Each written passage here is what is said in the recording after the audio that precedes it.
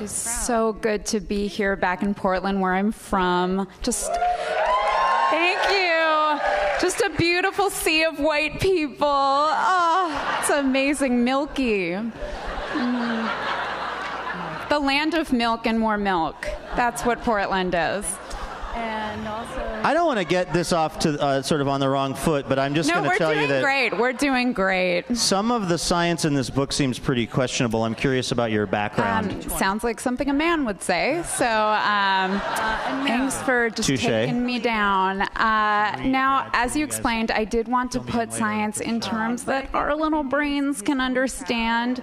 Um, most science textbooks are just way too complicated for a woman, and most science textbook covers are way too heavy for a woman's tiny little hands. Uh, so I wrote a book that is pint-sized. Um, it's Mrs. size. It's cute. It's like size zero or two. Um, it doesn't. No plus sizes. That's what I want to say for this book. Um, no plus sizes. Um, let's get into some of the details. Like, for instance, when you explain the sexiest molecules, Oh my God, I'd love to. Um, molecule. I didn't know any of this. I want to start by saying I'm just like you guys. I'm basically an idiot. So I really was learning this, and my brain is so small that sometimes I'd learn facts about science and then I'd forget my name or my address. So. Uh, I really am it really just pushes it right off the edge of the no shelf. I have no idea where I am. Yeah. Uh, I learned some science to answer this question, and then I have no idea where I am. So, sexiest molecules, if you look at them under a microscope, which is a thing, um, you can see that some molecules actually look like sexy ladies. So, like water, H2O, um, actually looks like a lady with just her legs splayed in yoga pants. Uh, so I found that to be very scientific. All right. Uh, how about the process of actually making a biological clock out of a potato, which is a big part of this book? So fun. I like to bring science experiments that maybe you did in middle school into a lady level. So um, you may have made a potato clock. Uh, but I made it so you could figure out when that all encompassing urge to have children is going to explode within you, which is a biological clock. Um, and it might happen when you're 16 or it might happen when you're 41, in which case, old maid, bye bye. Um, but biological clocks are very um, hard and important to understand. Yeah, but I mean, physically, how does the potato factor into it? I'm still confused. Oh, well, you put wires and stuff. The, the step in the uh, instructions is actually, it's like step nine have your husband Google how to build a potato clock and Oh, then have him yeah. do it for That makes you. sense. So I'm sorry to skirt the subject. I actually don't know. Um, but the that fun seems to be a recurring theme in the I'm not science afraid of this to book, admit it. I'm emotionally and physically naked. For all of you listening, I'm naked. Yes. Uh, Ooh, they agree. They all agree. uh, I think naked for public radio is like you only have three Patagonia fleeces That's on. what that's That's public radio no, nudity. th- that's what NPR stands for. Yeah. It's naked for public radio. That's It's right. beautiful. Uh, another uh, thing that I was, I, I'll just say, surprised to read about was the portion where you talked about viruses versus bacteria versus ex-boyfriends. Yes. So didn't seem super connected to me. Well, um, I just go into great detail about how um, there are some similarities, like uh, viruses are not even organisms like ex-boyfriends, um, but also some bacteria can cause uh, sexually transmitted diseases like ex-boyfriends. Uh, so there's actually a lot of Venn diagram-based interchange. Um, I just forgot my social security number trying to remember that. So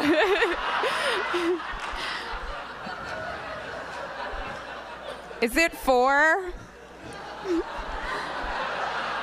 Did you? Did you write this entire book in like an Annie's Pretzels in the mall in Pasadena in an afternoon? I had so much skinny girl marg. just brought it to Annie's, my babe Anne, and just uh, really went wild. So Are you worried uh, that, and this is, uh, uh, whether you'll admit it or not, I pray to God this book is a satire. Spoiler alert. Are you worried?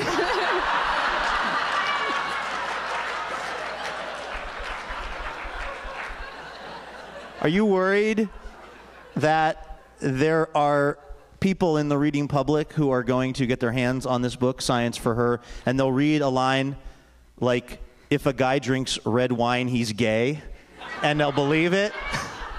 I mean, if he's buying a science for her, he's probably gay. So I will say I'm not worried about that specific line. Um, I am so excited when people think it's a real book, which has happened a lot on the internet. Because I'm a little rascal. This is Live Wire Radio. We're talking to Megan Amram. Her new book is Science for Her. Megan Amram, the pride of Portland, Oregon. Thank you. Um, Thank you.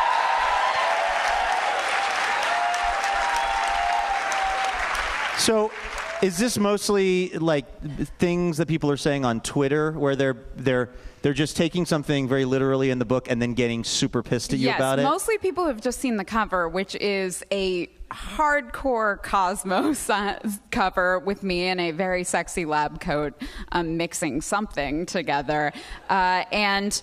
A lot of people on Twitter and Tumblr um, who are actually scientists are like, this is so bad. This is objectifying women and setting people back years. And I kind of want to be like, we're on the same team. Don't worry. Uh, but Are you I- not able to do that because you have to kind of keep the bit going? Oh, I, the bit is all I have. It's I'm so desperately committed to the bit. So I just watch How far would you go with the bit? Would you So consider far. living the rest of your life So in the bit? Would- yes, and I've already thought about this. Um, I think that the perfect uh, next step would be to write science for her for him, which is just a completely straight science textbook. Just no jokes. Like I go back to grad school and learn how to write a science textbook for high school. I write it for years, put it out, and then boom, that's the bit. Just done. I would respect you so so much if I you're willing to put in that time. That would be one of the greatest greatest bits of all time. Thank time. you. Thank you. If anyone can write me a letter of recommendation for a textbook school, I have a lot to learn. First of all, what that school is. Yeah, textbook U. Yeah. That sounds like a terrible, terrible place. You just go to learn how to write textbooks. That sounds like something they have in like North Korea, like a fake version of everything. They force a hundred thousand people to show up in the courtyard and dance at Textbook U Yeah. once a year. Yes, that's my understanding of textbook. Uh, U. You are a person who is followed on Twitter by a lot of other people. I think it's around almost half a million people now. Yes. Uh, was that a surprise to you that that, that your your tweeting was was so is so wildly popular? Yeah, it's crazy. All I tweet about is what I have for lunch. For those of you who don't follow me, just every single day sandwich. Um, no, I tweet.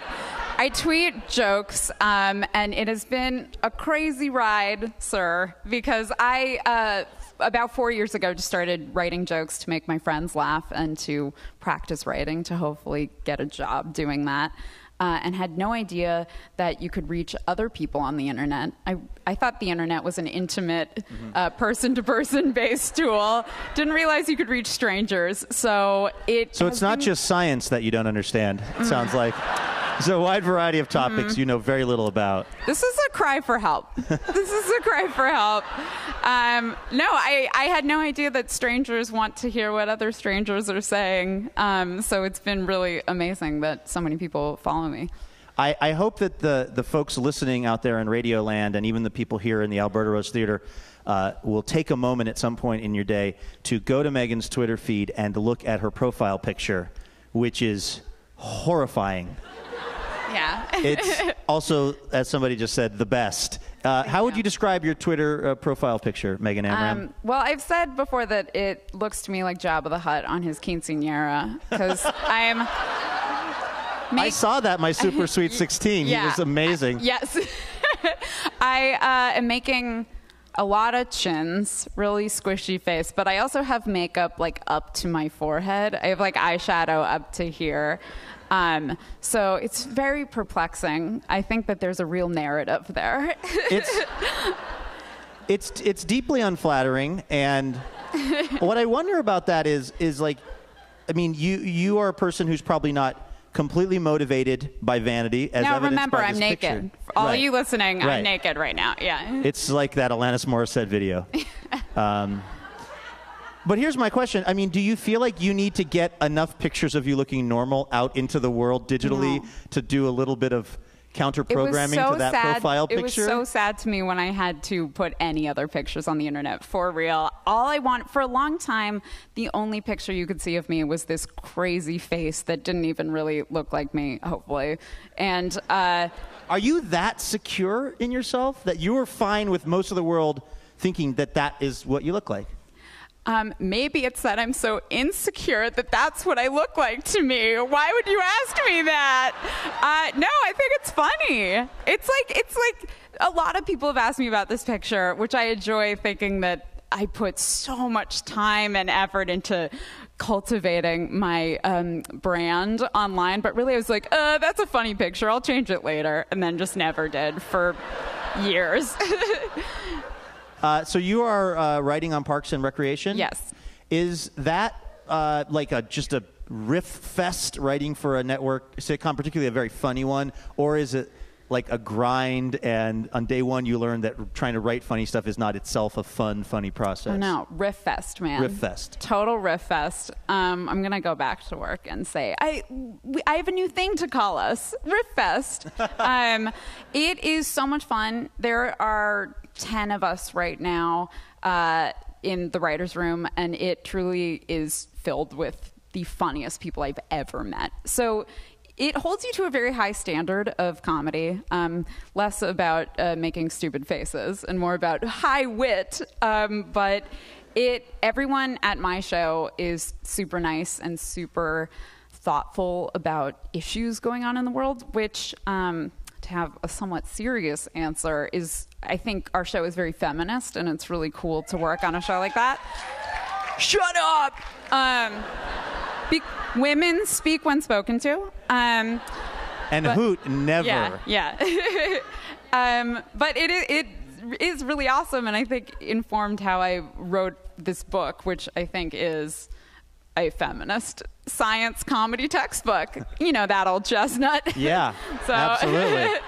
yeah. Uh, your mom uh, presented you at your uh, Powell's reading last Yes. night, I understand. And is your mom here? She's tonight? not here. She's asleep. Wow.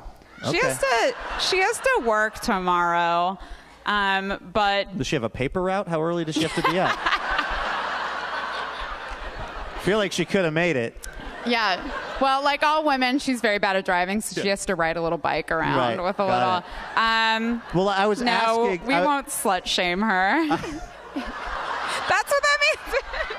I was asking because this book uh, is very funny, but also very dirty. And I'm wondering Yes. what her take on uh, the book is. she loved it. Like sincerely, she loved it. I was less afraid of the dirty stuff because I knew she'd like that. Uh, but more afraid that she just like wouldn't think it was funny um, and she thought it was great and i knew she'd tell me if she didn't because every time i tweet she'll usually say oh i love that that was funny or she'll say mm, didn't think that was that funny but based on the retweets you got the young people liked it so she's very she might know more about the internet than i do so um, but she was great at powell's she was very nervous uh, someone asked her what she contributed to my book, and I said that she has great boobs. And it made me uh, understand the importance of your body and just showing it off. So I think she liked that. Megan Amram, ladies and gentlemen, right here on Live Wire.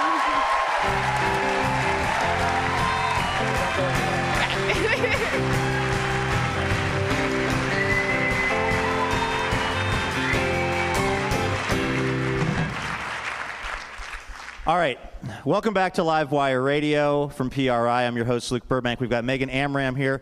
Uh, Megan, your new book is called Science for Her, and it's kind of a combo, uh, like science textbook and women's magazine. So we thought that maybe the perfect game to play would be Marry Boff Kill Scientist Edition Love it. with you. We have to say Boff because we swore too much a couple shows ago and we got dropped by the station in Yuma, Arizona.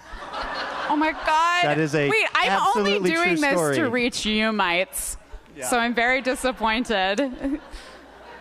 It's their loss. All right, so Marry Boff Kill, I want to swear so bad now. Scientist Edition. Um, we have a few different categories. Uh, let's start with uh, electricity. And uh, because you're a woman, we've also made you a card with the names on there so you can remember them. Is this like Um, a hat? This is a cute hat. Okay, so in the electricity department, Marry Boff Kill, Nikola Tesla, Thomas Edison, or Ben Franklin. Okay, I'm gonna boff Nikola Tesla. Um, he sounds like he sounds like a like a hot mariachi band member. So I think he has That might a lot be the of only time those words have ever been put in that order.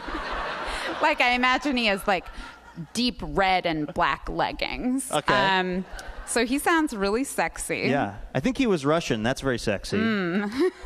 I just I see a bunch of letters together in Nikola Tesla that I don't usually see in English. So that's all I see. Sounds very foreign. Mm-hmm. Okay, so that's Um, you said Boff. Yes, Bob. I'm gonna kill Thomas Edison. Ooh. Um, because, yeah, thank you. Some group has an agenda here. Yeah. they They're like, you know what? Yeah. The Wizard of Menlo Park had it too good. Yes. Let's take him down a notch. Um, as all women know, lights are really bad because they show all your problem areas. So, I think culture that, body. Yeah, um, I think that lights are maybe the worst invention that have ever been made for women. Okay. So that's why I'm killing Thomas Edison, and I'm going right. to marry Ben Franklin um, because he has lots of kites. they sound fun. Okay, good, excellent. Those were all the right answers, surprisingly. uh, next up, Marry Boff Kill in the psychology category: uh, Sigmund Freud, Dr. Phil, and Carl Jung. Um, well, I'm definitely going to. Some people apparently boffed Carl Jung, and they're really- they're in the audience. I really want to have a lot of talks with individuals about science, their science background after this. I'm going to boff Sigmund Freud because I feel like he's going to cry a lot um, and call me mommy and stuff, and it would be super hilarious to see Okay. truly how crazy. Um, now, I'm going to marry Dr. Phil because I want to change my last name to Phil. Um, I have always loved thinking Okay. his name is like Dr. John Phil. and then I guess what's the. Uh, kill. Oh, well, I'm going to kill Carl Jung, which uh, I don't. Oh, stop.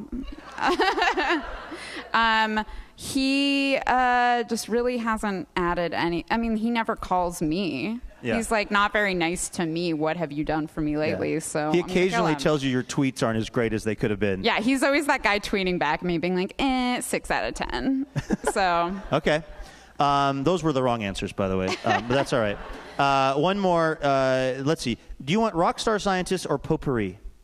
Oh my god. Um, This is probably the hardest decision you're going to make uh, in I like guess two weeks. potpourri. potpourri it is. Oh, I thought I was gonna get to marry potpourri. I thought it was all scents, clove. Yeah. We have actually a little Yeah. sash Yeah. in the bathroom Oh, in the this green is room. fun. Okay, so potpourri, Marry Boff Kill for Megan Amram, uh, Parks and Rec, and also author of Science for Her. Uh, Marry Boff Kill, Marie Curie, Noam Chomsky, or Charles Darwin. Now. and and amazing boff party in a jacuzzi with all of them is not an option. yeah, I mean, Because I know you're thinking it. I have such a clear vision in my head right now. Um, I think that I'm going to have to kill Marie Curie. Wow. Um, okay. Because she really overstepped her bounds there. Mm-hmm. She took a lot of, I mean, I talk about this in my book. I have a section called Marie Curie versus Marie Claire. Um, I think that um, Marie Curie in like the best lighting was only like a four, um, and that, Edison. and that lighting was, of course, the radiation that gave her cancer and killed Right, her or whatever. okay. Um, so she's got to go. Let's end it on a dark note. Um, lo- love you, babe, but you gotta go. Okay. Um, now I'm gonna boff Noam Chomsky because I want him to chomp. Yes, it's great to see you, Noam. I want him to Chomsky my gnome. Does that? Yeah. I don't know. Yeah, is that absolutely. anything? That is a thing. Okay, that's That a thing. Turns out, Um, Chomsky her gnome. and then I would like to marry Charles Darwin because I feel like our love will just evolve and get better over time. I got. And that is how you play Marry Boff Kill Scientist Edition with Megan Amram. Megan, you. thank you so much. Thank you.